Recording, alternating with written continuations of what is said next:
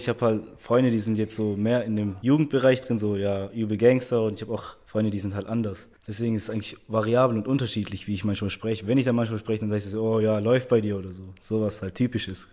Ja, wenn ich mit Gangstern unterwegs bin, ist es halt schon, ja, Spaß, Fisch oder Walle, halt so schwer auf Türkisch. Ölauge gibt's, dann Maggie mit Augenbraue oder so.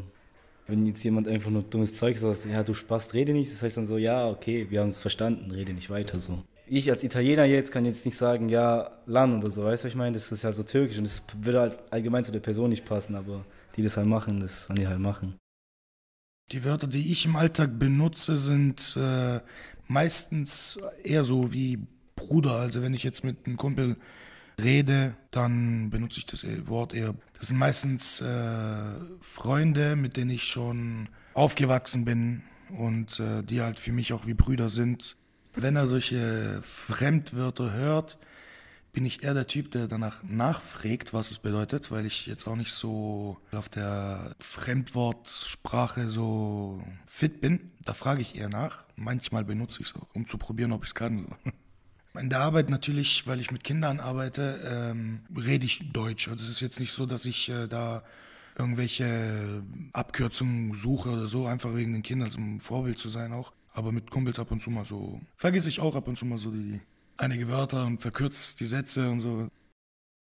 Gerade wenn man dann mit vielen Jungs in der Clique rumhängt oder so, da geht es dann schon öfters mal um irgendwelche Wörter, wo man sagt, hey, was habt ihr gerade gesagt? Redet mal Deutsch oder so ich lasse jetzt nicht extrem Artikel weg irgendwie, das finde ich auch voll nervig, aber es ist schon so, dass man sagt, geh mal Stadt oder so. Also das ist einfach Standard. Oft auch finde ich einfach, weil man, wenn man schreibt und das dann halt auch, wenn man spricht kurz, sagt man das halt, jeder versteht's, aber oft auch einfach wirklich unterbewusst.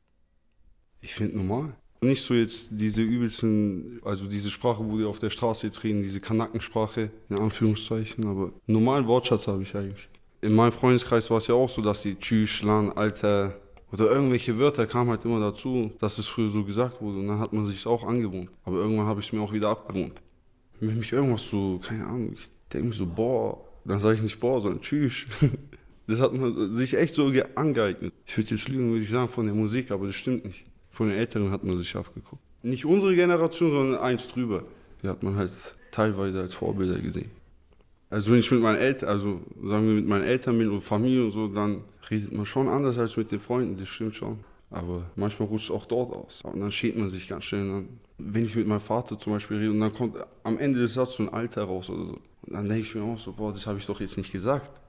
vielleicht hat er es überhört, vielleicht hat er es gehört und dann kriegt man schon Ärger, wenn man so redet.